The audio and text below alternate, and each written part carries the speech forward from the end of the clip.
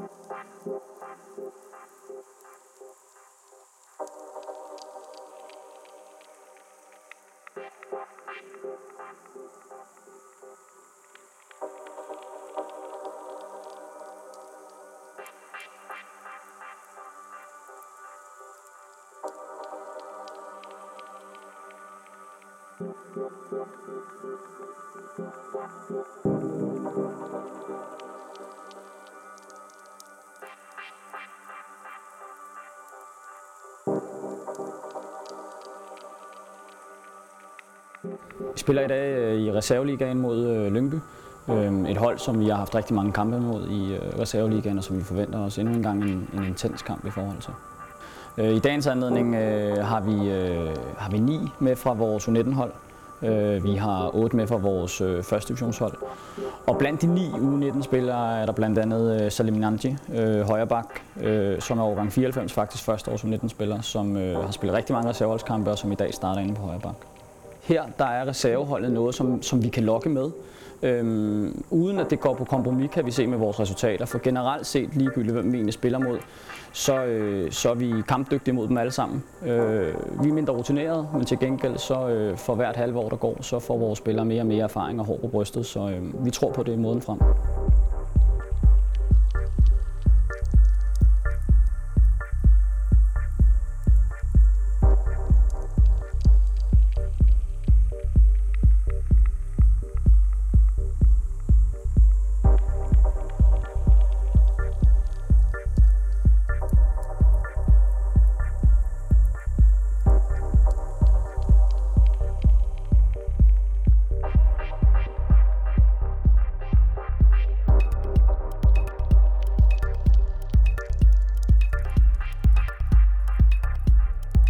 Emil Favre. Jeg er 22 år og spiller venstre bak her i AB. Og pt. så lærer vi kamp siden af fodbold, og til sommer vil jeg gerne læse øh, idræt på Københavns Universitet.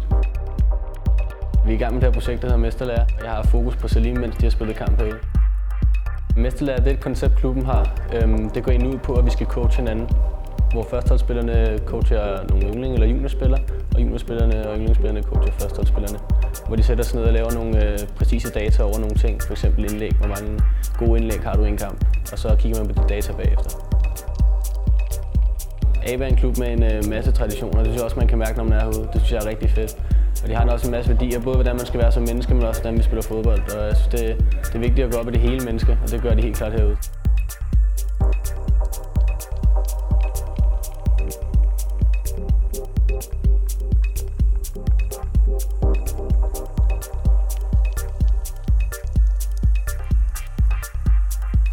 Ser alle vores reserveholdskampe, selvfølgelig for at følge dem af, øh, af mine egne trupspillere, men også de unge spillere fra U19 og 17 holdet, som, øh, som er med, og her blandt de fokusspillere, som vi har, har valgt ud, som vi har lagt ekstra fokus på.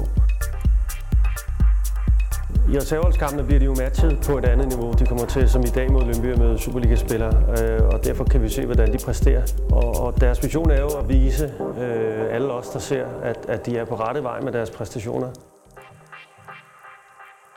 Vi er den yngste trup i første division, og det vil sige, at vi tror på vores egne spillere. De får muligheden for det, øh, for at komme op tidligt. Og hvis jeg ser, at, at vores unge spillere eller vores fokusspillere eller mine egne reserver, de præsterer godt i reserveholdskampene, så er jeg ikke bleg for at give dem chancen, og de får lov til at spille i første division. Og det har vi vist nu i, i, i snart to år, at vi giver de bedste spillere, som, øh, som viser indstillingen og, og attituden, og som også har talentet til, at de, øh, at de får chancen for at spille i første division hos os.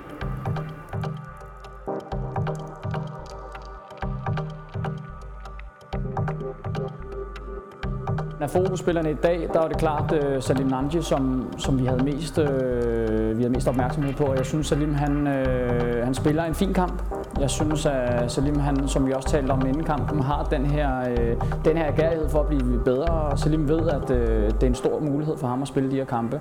Nu spiller han direkte over for en Superliga-spiller i dag i, i David Bøjsen, som jo har fart i støvlerne, og det synes jeg faktisk, at han løser fornuftigt. Og det må vi jo sige, det mener vi jo helt sikkert er et resultat af alle de reserveholdskampe, som mange af de her 19-spillere efterhånden har fået.